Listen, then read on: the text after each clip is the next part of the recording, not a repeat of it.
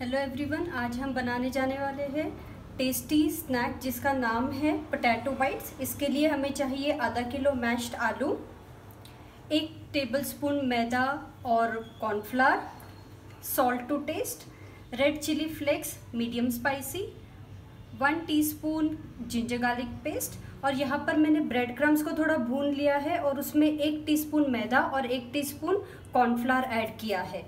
और चाट मसाला। तो हमें ये सारे इंग्रेडिएंट्स को पहले मिक्स कर लेना है, अच्छे से। नमक red chilli flakes garlic ginger paste cornflour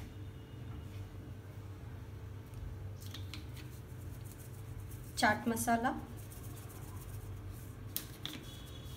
अच्छे से इसे एक मिक्स दे देंगे। हम लोग इसे चीज़ी भी बना सकते हैं। कैसे? बैटर के बीच में बस एक छोटा सा क्यूब रखना है हमें चीज़ का, अच्छे से राउंड करना है।